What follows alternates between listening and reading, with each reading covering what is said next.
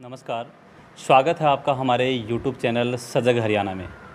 और आज हम डायरेक्ट पहुँचे हैं सिंघानी कस्बे में, जो लोहारू तहसील में पड़ता है। और यहाँ शहीद भगत सिंह कंप्यूटर साक्षरता मिशन के नाम से एक संस्था चलाई जा रही है, मिस्टर जग प्रवेश चौरान के द्वारा। तो डायरेक्ट हम उन्हीं से जानेंगे क्योंकि उन्होंने एक अपनी संस्था के माध्यम से एक टारगेट लिया है कि अभी अपने क्षेत्र के अंदर या अपने स्टेट के अंदर बहुत सारे बेरोज़गार लोग हैं और उनको रोज़गार दिलवाने के लिए उन्होंने एक नई मुहिम चलाई है रोज़गार मेला। तो सबसे पहले हम उन्हीं से जानना चाहेंगे कि सर आपने रोज़गार मेला की जो मुहिम चलाई है उसका मुख्य उद्देश्य क्या है सर आपका? सबसे पहले तो नमस्कार सभी को। हमारा मुख्य उद्देश्य है कि अपने आसपास या अपनी स्टेट में जो भी जैसे बेरोजगारी बढ़ती जा रही है। जी सर। उसको देखते हुए हमारी संस्था द्वारा एक रोज़गार मेला आयोजित किया जा रहा है। इसमें हरियाणा और राजस्थान के राजस्थान में जॉब दिलाई जाएगी हरियाणा और राजस्थान में किसी भी स्टेट से कोई भी कैंडिडेट इसमें अप्लाई कर सकता है। जी सर जैसा आपने बताया कि राजस्थान और हरियाणा के जो लोग हैं वो इसमें अप्लाई कर सकते हैं। सर आपने जो रोज़गार मेला लगाने जा रहे हैं तो उसके अंदर जो क्राइटेरिया है क्वालिफिकेशन का वो क्या रखा है सर आपने?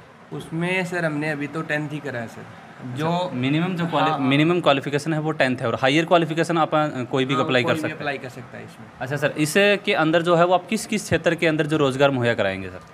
इसमें जैसे आ गया कोई प्राइवेट स्कूल हो गया कॉलेज हो गए बैंकिंग लाइन आ गई कंपनी वगैरह है इनमें। साथ साथ जो भी प्राइवेट इंस्टीट्यूट जो चल रहे हैं उनमें इन सब में हम कोशिश करेंगे। और नियर बाई हमारी कोशिश रहेगी कि कैंडिडेट का जो रेजिडेंस जो एरिया है उसके नियर बाई 20 किलोमीटर में हम जॉब दिलाने की कोशिश करेंगे। मतलब नियर अबाउट अगर कोई कैंडिडेट कहीं बाहर से है और वो अपने आसपास 20 किलोमीटर के एरिया के अंदर ही अपनी जॉब प्राप्त कर सके आपका डायरेक्ट यही है। तो सर आपसे पूछना चाहूँगा जैसे आप शहीद भगत सिंह कंप्यूटर साक्षरता मिशन को आप रनिंग कर रहे हैं तो पिछले कितने साल से रनिंग कर रहे हैं? कौन कौन से कोर्स करवा रहे हैं सर आप यहाँ सर तीन से चार साल हो गए इसको रनिंग में। मैं एक तो computer courses NTT courses vocational courses ये सब कोर्सेज इसमें हम करवाते हैं। अच्छा यानी कि आपने कंप्यूटर कोर्स बताया वोकेशनल कोर्स बताया आप इसके तहत ये कोर्सेज करवाते हैं। सर आप अभी डायरेक्ट अपने स्टूडेंट से क्या चाहेंगे कि अपना जो रोज़गार मेला है उसके बारे में कुछ एक्स्ट्रा आप बताना चाहें कुछ? ये है जी कि ज़्यादा से ज़्यादा इसमें रोज़गार मेले में अप्लाई हो जाए स्टूडेंट ज़्यादा से ज़्यादा हम रोज़गार दिलाने की उनको कोशिश करेंगे। इसमें एक और बता देता हूँ ये मेला स्पेशल महिलाओं के लिए फीमेल कैंडिडेट के लिए ही है।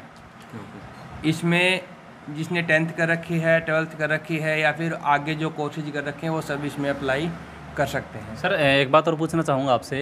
जैसे सिलेक्शन का क्या क्राइटेरिया रहेगा सर? इसमें सर रिटर्न एग्ज़ाम होगा और इसमें ढाई सौ रुपये के लगभग फ़ीस भी है सर।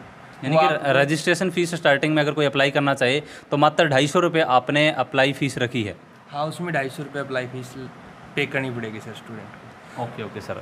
और जैसे मैं स्टूडेंट से आग्रह करना चाहूँगा जैसे सर ने बताया कि मैं आपका मेनली सर कितना टारगेट रहेगा? कितने लोगों को आप अपनी तरफ़ से चाह रहे हैं कि इतने लोगों को रोज़गार मैं दिलवाने की कोशिश करूँगा?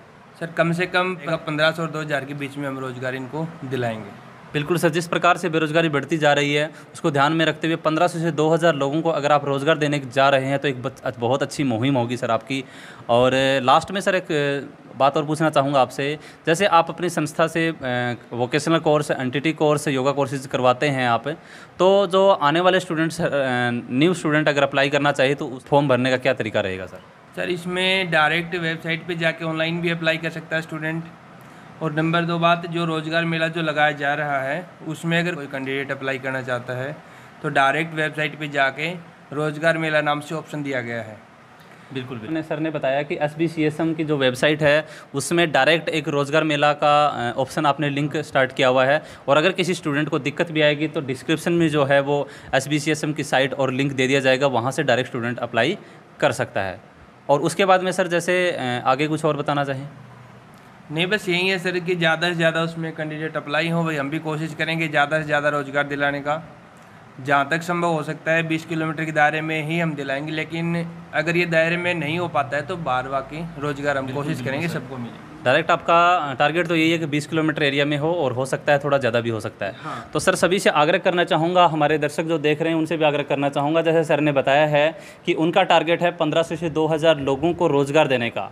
तो ज़्यादा से ज़्यादा इस फॉर्म को अप्लाई करें और जो महिलाएँ कैंडिडेट हैं उनके लिए बेसिकली ये जो रोज़गार मेला आयोजित किया गया है। और क्या डेट अनाउंस की है सर अभी आपने रोज़गार मेला की? इसके लिए हमने पाँच सितंबर को स्टार्ट करेंगे इसका हम जो कैंडिडेट होंगे उसके अकॉर्डिंग चलते रहेंगे एग्ज़ाम लेकिन पाँच तारीख जो टीचर्स डे है उस दिन से हम इसको स्टार्ट कर रहे हैं। बिल्कुल बिल्कुल सर। बेसिकली सर ने बताया कि पाँच सितंबर शिक्षक दिवस के रूप में मनाया जाता है और उसी के ऊपर एक अच्छी मुहिम स्टार्ट कर रहे हैं। सर बहुत अच्छा लगा आपका बहुत बहुत धन्यवाद आपका। टाइम दिया आप ठीक है सर धन्यवाद।